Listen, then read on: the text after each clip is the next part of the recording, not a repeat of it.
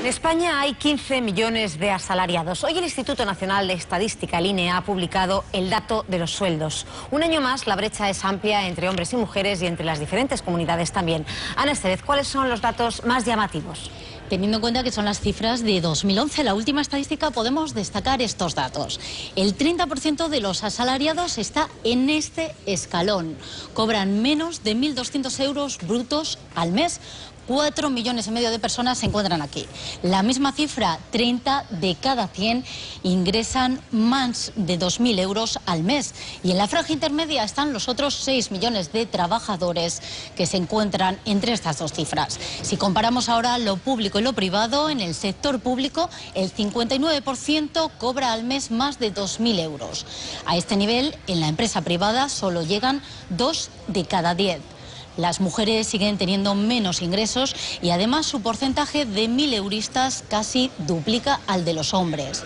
Por sectores, 8 de cada 10 personas que no llegan a los 1.200 euros pertenecen al servicio doméstico y los salarios más altos se encuentran en el sector financiero.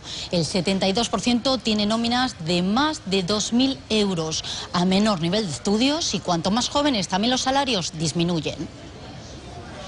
Marta lleva pocos meses trabajando. Pertenece al 61% de los menores de 25 años que cobran menos de 1.200 euros. Cuento con un nivel de estudios elevado y lo que espero es poco a poco, a medida que voy desarrollándome profesionalmente y adquiriendo más habilidades, pues ir incrementando mi nivel salarial. Un 52% de aquellos que tienen estudios superiores cobran más de 3.200 euros al mes. El 40% de quienes tienen estudios básicos tienen un sueldo inferior a los 1.200 euros.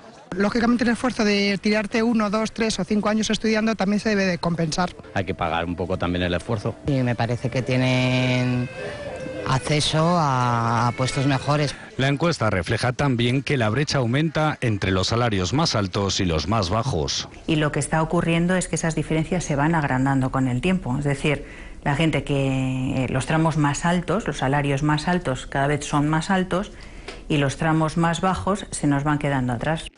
Por comunidades los salarios más altos son los del País Vasco, Navarra y Madrid, los más bajos en Extremadura y Canarias.